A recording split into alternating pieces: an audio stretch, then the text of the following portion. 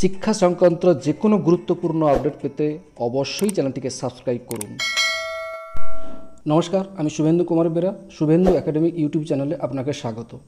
আজ এই ভিডিওতে আলোচনা করব রাজ্য সরকারি কর্মচারী এবং শিক্ষক শিক্ষিকাদের জন্য গুরুত্বপূর্ণ একটা অর্ডার প্রকাশ করল অর্থ দপ্তর থেকে। কি বলা হয়েছে একটু বিস্তারিত দেখব অর্ডারটি এবং সঙ্গে কি বলা হয়েছে সেটাও দেখব এবং কারা কারা কী কী পাচ্ছেন সেটাও আমরা এই ভিডিওতে দেখে নেব। চলুন, দেখে নেওয়া যাক।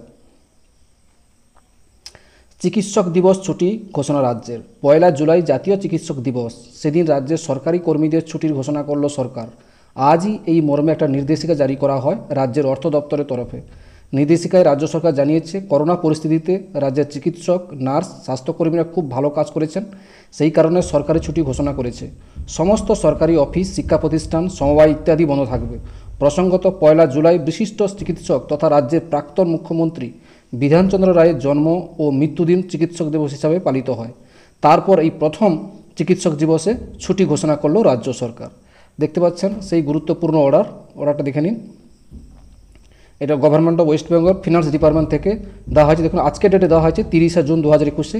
এই গুরুত্বপূর্ণ এই অর্ডারটা দেওয়া হয়েছে। দেখুন এভরি ইয়ার প্রতি বছরই এটা করা হয়। ফার্স্ট জুলাইতে ন্যাশনাল ডক্টরস ডে হিসাবে করা হবে এবং ইউনিভার্সারি কারণ জন্ম মৃত্যু দিবসে উপলক্ষে ডক্টর বিধানচন্দ্র রায়ের উপলক্ষে এই নিয়ে ছুটি ঘোষণা করা হয়েছে এবং রাজ্যের সমস্ত শিক্ষা প্রতিষ্ঠান থেকে শুরু করে সব কিছু এখানে বলাই দেখুন দ্য স্টেট গভর্নমেন্ট ডিসাইডেড যে অবজার্ভ ফার্স্ট জুলাই দু হাজার একুশ as state government holidays in all state government office educational institution rural and urban bodies other grant and aid institution board corporation ETC আরও বিভিন্ন সব, সবগুলো থেকেই সব থেকে ছুটি থাকবে। এখানে গুরুত্বপূর্ণ এই অর্ডারটা জারি করা হয়েছে গভর্নমেন্ট অফ ওয়েস্ট বেঙ্গল থেকে।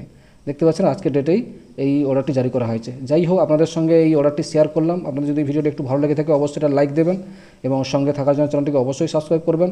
ভালো থাকবেন, সুস্থ থাকবেন। ধন্যবাদ।